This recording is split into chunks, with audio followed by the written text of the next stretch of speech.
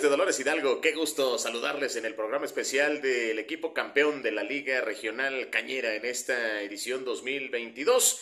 Los industriales finalmente se impusieron en el juego final, en el partido número 2 de la serie por el título a los azucareros de Atencingo, con una pizarra de 12 carreras contra 2, en donde brilló nuevamente el poder ofensivo, encabezado por Ismael Martínez, con un cuadrangular con la casa llena, por Denis Campos, que también se fue para las tablas, el bateo de Lino Hernández, de Uriel Ascarro, de Eric Telles, de Brian Ramírez de Ricardo Ruiz, que fue muy activo como manager y jugador a lo largo de esta postemporada, de Aldo Luna, de Julio Pons, de Ronald Brizuela, los muy buenos trabajos en el picheo, por supuesto, que se presentaron con Rosy del Castillo, con Rodrigo Merino, con eh, Fernando Villalobos, el caso de Leonel Becerra y realmente la colaboración de todos y cada uno de los elementos que forman parte de este roster de los industriales, que bueno, pues se las vieron complicadas en varios partidos a lo largo de la campaña, inclusive en el primer juego, también en Atencingo, en contra de los azucareros, que nunca, nunca dejaron de pelear. Finalmente el campeonato para el equipo de Ricardo Ruiz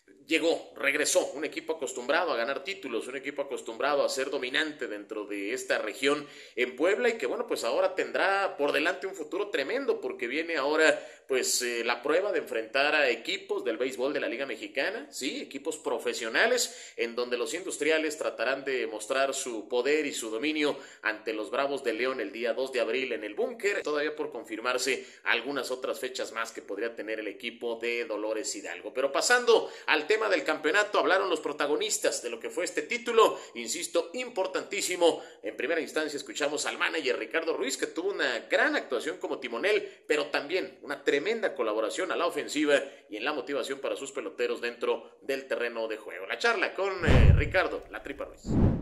Bueno, pues con el manager de los campeones industriales de Dolores Hidalgo, Ricardo, ¿cómo te sientes con el campeonato? Bueno, pues me siento muy contento, sinceramente, por la afición de Dolores Hidalgo, que ya le hacía falta un campeonato de esta magnitud, como siempre lo ha manejado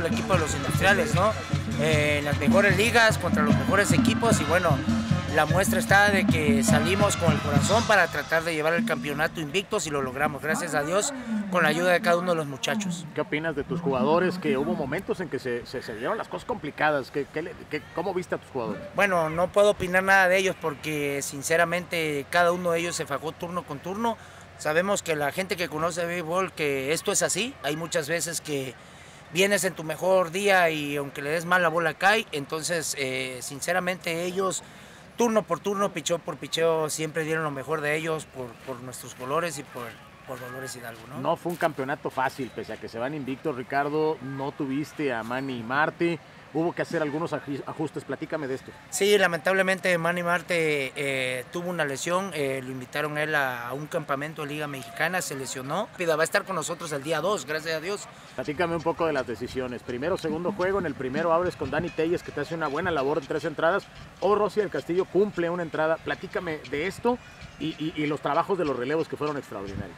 Bueno, como te vuelvo a repetir, ¿no? Eh, yo, el equipo está compuesto de gente capacitada y capaz de poder sacar cualquier compromiso y sinceramente Rosy del Castillo, vaya, no hay nada que hablar de ella, tremendo pitcher, la calidad que tiene ella es como, o sea, es una jugadora profesional. Eh, como manager, pero además como pelotero, Ricardo, tuviste muy buenas actuaciones en el primero y en el segundo juego, pieza clave para las carreras que hizo Industriales. Bueno, pues tú sabes que lo que bien se aprende jamás se olvida, ¿no? Sinceramente, eh, yo trataba de darle la muestra a cada uno de mis compañeros, porque para mí no son mis jugadores, son mis compañeros de equipo, ¿no?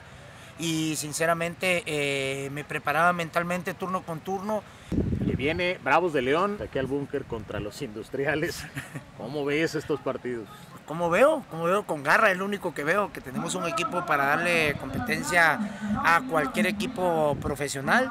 Sabemos de antemano que eh, los equipos profesionales en esa etapa eh, vienen ya a un 85%, pero nosotros no vamos a dar ventaja de nada. Vamos a tratar de sacar los compromisos, ponernos al tú por tú y jugar un béisbol duro como nos caracteriza aquí en Dolores Hidalgo. Ricardo, ¿a quién va dedicado este campeonato? Pues a mi esposa, a mi hijo, a Mateo eh, pues a mi familia allá en Veracruz y pues a toda la afición de Dolores Hidalgo que habían estado un poco sedientes de este tipo de, campeonatos con esta magnitud a este nivel, ¿no? Entonces, bueno, sinceramente yo pienso que el estadio se va a abarrotar poco a poco, van a poder confiar más en nosotros y van a ver buen béisbol, un béisbol de garra, un béisbol de entrega un béisbol bonito para todas sus familias. Y es que Ricardo Ruiz conectó tres imparables en este partido, se robó otra vez un par de bases, en el primer juego también lo hizo, fue un bateador realmente muy pero muy oportuno el que tuvo Industriales a lo largo de esta postemporada con Ricardo Ruiz, y además de que manejó por nota, dirigió por nota cada uno de los partidos en donde este equipo terminó invicto en esta temporada. Por su parte, la pitcher abridora Rosy del Castillo empezó muy bien en la primera entrada, batalló en la segunda, pero fue parte también eh, pues muy importante de la motivación y de todo el trabajo que se hizo en equipo para lograr este campeonato. Escuchamos a Rosy del Castillo. Castillo, Rosy, llegó el campeonato. ¿Cómo te sientes con este título con los industriales? Bien, muy contenta por, por un campeonato más en esta organización. Oye, estuviste trabajando en estos partidos. ¿Cómo te sentiste en el centro del diamante? Bien, la verdad al principio un poco nerviosa, pero salió la primera entrada y ya pues agarré más confianza y muy contenta por, por la oportunidad que me dieron. En estos eh, días, el mes, semanas de la mujer, ¿cómo, cómo interpretas que, que, una mujer haya logrado este campeonato con los industriales? ¿Qué le dices a todas esas mujeres que, bueno, pues están viviendo días y épocas muy importantes para abrirle paso en los diferentes campos en el béisbol a las mujeres? Pues es algo importante, eh, la verdad, eh, más que nada para que se motiven las niñas a, a, practicar, a practicar no solo este deporte, sino el que más les apasiona. Después de esa primera entrada, las mujeres dominaron a los hombres. ¿Qué utilizaste en ese primer episodio? Sí, pues utilicé recta, curva y cambio. Sin embargo, después el momento se, se, complicó. ¿Sentiste problemas con tu comando, con tu control? ¿Qué fue lo que pasó en ese segundo episodio? Pues sí, como que me desconcentré un poco y la loma la sentí un poco alta, no me, que no me acomodé muy bien, pero pues se hizo el trabajo punto interesante acerca de lo de la loma de más bateadores importantes, ¿no? De azucareros, que es gente que, que, que pelea muy bien sus turnos, ¿no? Sí, la verdad no, no, fue, no fue fácil, pero pues lo disfruté.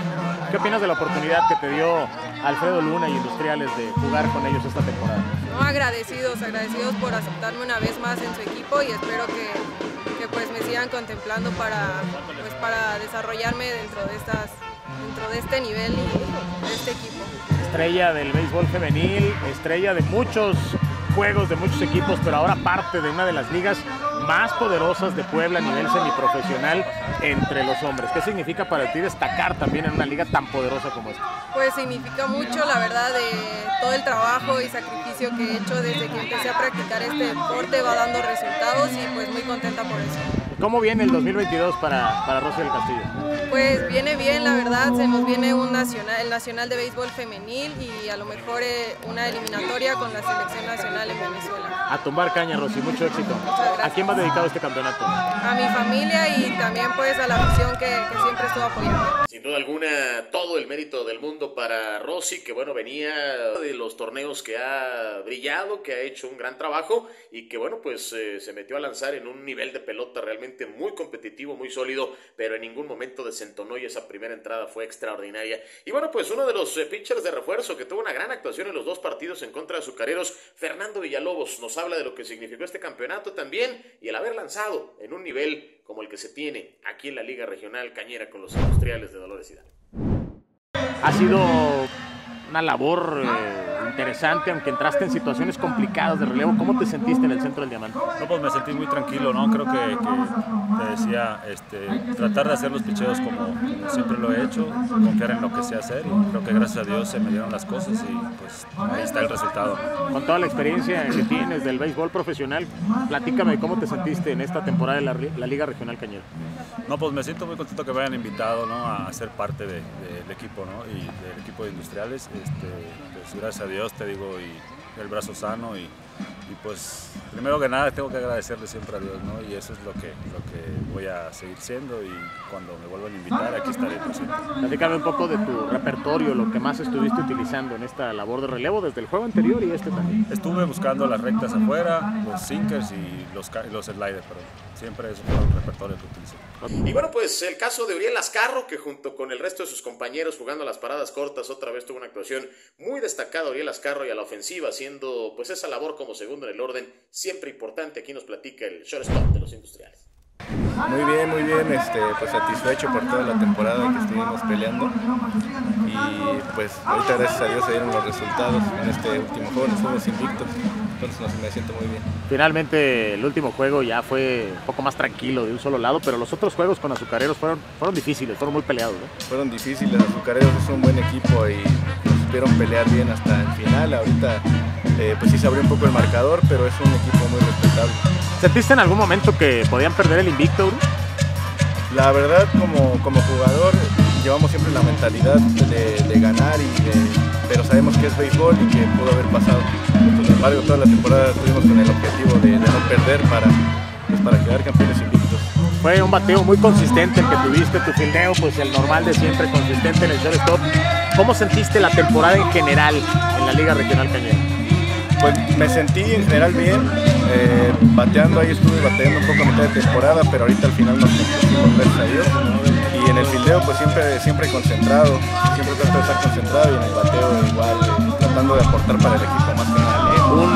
Y bueno, pues de esta manera la labor de cada uno de los peloteros, inclusive los que ya no estuvieron presentes en este equipo dirigido por Ricardo Ruiz, de todos los que mencionamos, desde luego el cuerpo técnico con Chay Flores, con Arturo Aguilar, eh, con Ricardo Ruiz, eh, ya no estuvo Juan Pablo Linares en la postemporada, Justino Cuevas, que formó parte también de este equipo, Juan Manuel Marte, que se comunicó a distancia en cada uno de los partidos recuperándose de una lesión, pero bueno, todos, todos los que formaron parte de este roster que fue por pues, realmente muy sólido, muy fuerte en cada una de las posiciones. Peque Luna, Aldo Luna, todos los que estuvieron participando en cada uno de los partidos eh, pusieron su granito de arena para que esto pues pudiera convertirse otra vez en un sueño hecho realidad. El equipo que ha empujado tanto y que ha apoyado tanto Alfredo Luna, finalmente bueno pues ha conseguido este campeonato en donde deja en claro que es el equipo más poderoso de la región y que bueno pues ahora codeándose contra los equipos del béisbol de la Liga Mexicana tendrá que demostrarlo otra vez porque los industriales, créanme, van por esas victorias sobre Bravos de León que llegarán con sus jugadores estelares porque el arranque de la temporada regular en la Liga Mexicana está muy cerca ya. No se pierdan los programas especiales, los espacios, redes sociales de los industriales de Dolores Hidalgo con toda la cobertura de lo que sigue ocurriendo con los campeones, los campeones 2022 de la Liga Regional Cañera, los industriales de Dolores Hidalgo. Luis Mercedes Esquera en la cámara y la producción, servidor Miguel Ángel Beard. Saludos amigos, que la pasen muy bien.